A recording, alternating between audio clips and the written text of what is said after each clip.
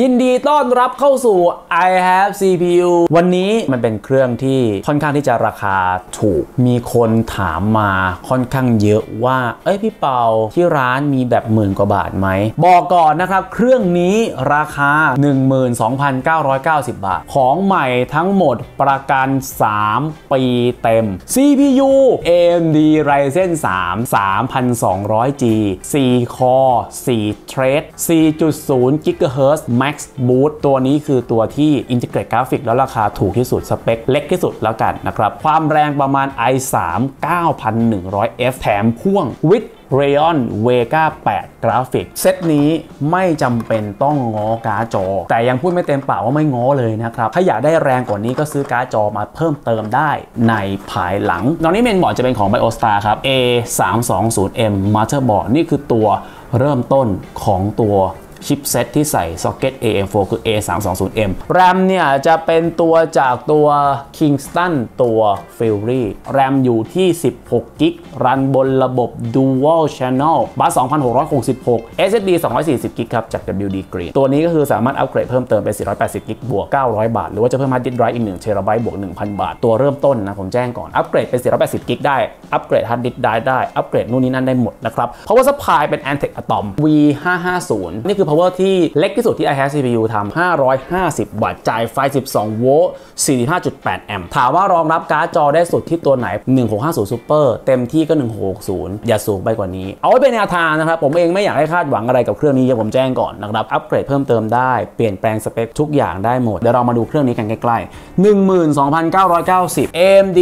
Ryzen 3 3200G 4 GHz Turbo 4 Core 4 Thread Integrate Graphic มาเป็น AMD Radeon Vega 8 ใช้การ์ดจอจากตัว on board พัดลมจะเป็นพัดลมเดิมๆนะครับ Stealth Cooler ที่แถมเข้ามา เมนบอร์ดปกติคือ A320 แรมให้มา 2 สล็อต 16กิก Dual Channel 8กิก2แถว ตรงนี้เราสามารถที่จะใส่การ์ดจอเพิ่มได้ ถ้าวันใดวันหนึ่งเรามีงบประมาณที่จะ เพิ่มการ์ดจอเข้าไป เพราะว่า supply อยู่ข้างล่างครับคือ Antec Atom V550 Case ก็สามารถที่จะเลือกได้ อันนี้น่าจะของ Cougar MX110 นะครับ น่าจะเป็นตัวอะคริลิกธรรมดา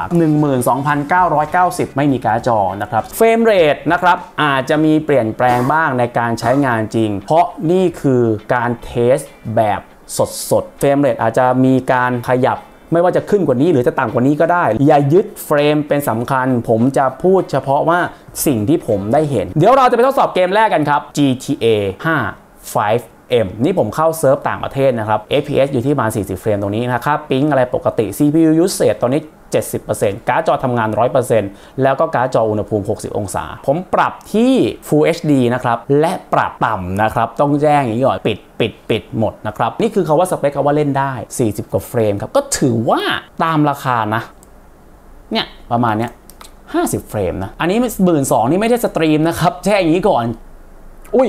เนี่ยถ้าชนชนอย่างเงี้ย30เฟรมเห็นละคราวนี้เกมต่อไปเดี๋ยวเราลองเข้า PUBG ดู นี่คือ Full HD นะครับ ปรับ Very Low นะพี่แจ้งก่อนนะครับ Render Scale ดิพี่ขอปรับเป็น 100 ก่อน ให้มันเป็น 100%ซะ ไปดู frame rate กัน 42 เฟรมฮะ 43 เฟรม CPU 52 องศาไม่ร้อนนะครับ การ์ดจอก็ปกติ 100%อยู่แล้วแรมกิน 7.7 กิกครับ นี่ 30 เฟรมว่ะ drop ลงว่ะ เวลายิงเวลาอะไรอย่างเงี้ย ก็ประมาณสักพี่ให้ 30 เฟรมแล้วกัน35 เฟรมบวกๆแล้วกัน เดี๋ยวเรามีเกมหนึ่งครับ Counter Strike คุณภาพเงาของโลกปรับต่ำต่ำต่ำเรียบเรียดีเลยแล้วกัน เอางี้ดีกว่านะครับ แต่เป็นแบบ Full HD มุมขวาบนนะครับ 120 เฟรม เฮ้ยร้อยเฟรมเลยเหรอ120เฟรมโดยเฉลี่ย ก็ผล test ก็ตามที่บอกไป12,900 90 ฝากไว้ด้วยสำหรับเครื่องนี้ครับ ทุกอย่างสามารถอัปเกรดได้หมดได้ตามต้องการ ขอบคุณทุกคนมากๆที่ติดตาม iHAVECPU เจอกันใหม่ครั้งหน้าครับผมวันนี้ ผมปาว iHAVECPU ลาไปก่อน สวัสดีครับ